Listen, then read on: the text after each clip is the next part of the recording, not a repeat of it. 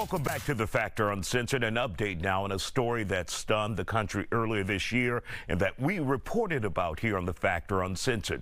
The mother of a six-year-old who shot his first grade teacher will be facing consequences. Deja Taylor has been sentenced to two years in prison for child neglect. Investigators say the child got the gun from Taylor's purse, hid it in his backpack, and took it to the wep took the weapon to school where he shot and injured his teacher, Abby Zwerner. Digging deeper, is there a problem with our young black boys being angry and taking it to school? Joining us to talk about it tonight is therapist Dr. Bernadette Smith. First of all, a parent's culpability in this situation. If they allow their child to get a gun, should they be held responsible criminally like we're seeing here?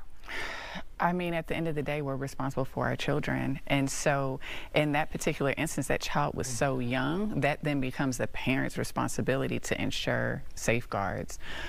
That gun should not have been in a place to where that child could easily have access to it. Um, you know, I'm not a lawyer, so I can't speak mm -hmm. on, you know, on it to that degree. Uh, but you're speaking common but, sense. But it's the whole thing is unfortunate in general. Mm -hmm. You know, I understand um, wanting to have gun in your house to feel safe. But then if you know you have small children and they're not, um, you haven't taught them gun safety or something, you need to be able to be smart about that. Now, this student has had a history, according to reports that we've seen, being angry with the teacher. The teacher mm -hmm. was even afraid of him. And so when you have individuals or, or kids who have that kind of anger, how can we deal with it, especially black males? Yeah. Because there's, you know, they're, they're, in some instances, their parents are not taking them to counselors to deal with it. Yeah. And so they don't know where to channel that energy other than something like this. So I love what you're saying, right? Channeling that energy. Now, one of the things that we've noticed in, in our practice is we as a community are starting to actually seek out therapy. Right. So that stigma in terms of, oh, therapy isn't for us, that's starting to change. And we're specifically seeking out people who look like us to provide that mental health support. So fortunately that's changing, but there's still a lot that still needs to be done in that realm for people to feel comfortable to seek out that support and know the tools and resources. So being able to recognize one, anger is a root emotion, mm -hmm. right? There's nothing wrong with anger. It's how do we then express that? And oftentimes what happens is anger, especially in men and especially in young black men, I saw this all the time when I was working in higher ed, it gets misdiagnosed um, because sometimes. So what do they call it? Mm, What's your preferred have, terminology for it, and what do you consider it?